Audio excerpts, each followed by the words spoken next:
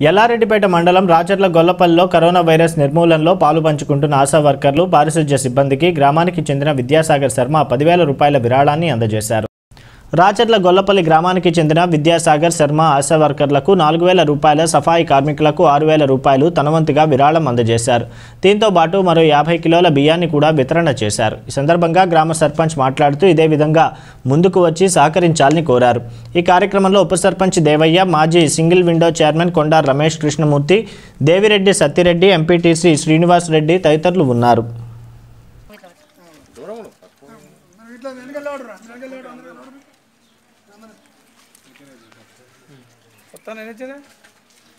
సత్యరెడ్డి నాలుగు నాలుగు వేల రూపాయలు. మన రాచర్ల గొల్లాపల్లిలో ఈ ఆశా వర్కర్లు మరియు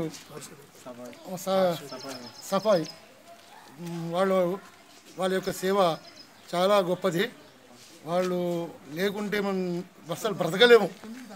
ఆ శుభ్రత గ్రామ గ్రామ శుభ్రత కావాలంటే ముఖ్యంగా వాళ్ళు మనకు ఆరోగ్యం ఉండాలంటే ఆశా వర్కర్లు. వాళ్ళు మనం ఆదుకో ఎంత ఇచ్చినా వాళ్ళకు తక్కువనే.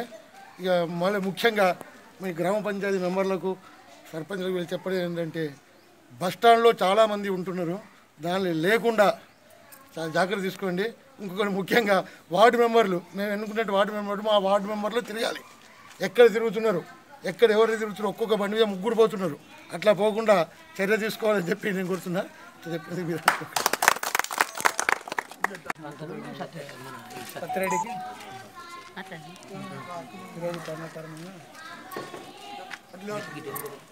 ఎల్లారెడ్డిపేట మండలం రాచర్ల గొల్లపల్లి గ్రామ పంచాయతీల గొల్ల ఊరు పురోహితుడు విద్యాసాగర్ పంతులు పదివేల రూపాయలు ఇవ్వడం జరిగింది.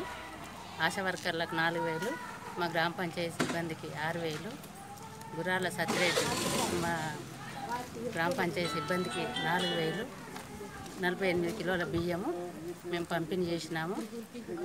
ఇంకా కూడా ముందుకు వచ్చేటోళ్ళందరూ కంపల్సరీ ఇదే విధంగా ముందుకొచ్చి అందరూ వాళ్ళ వాళ్ళ కష్టం మనం ఆలోచించుకొని వాళ్ళందరికీ ఇవ్వాలని నేను కోరుతున్నాను.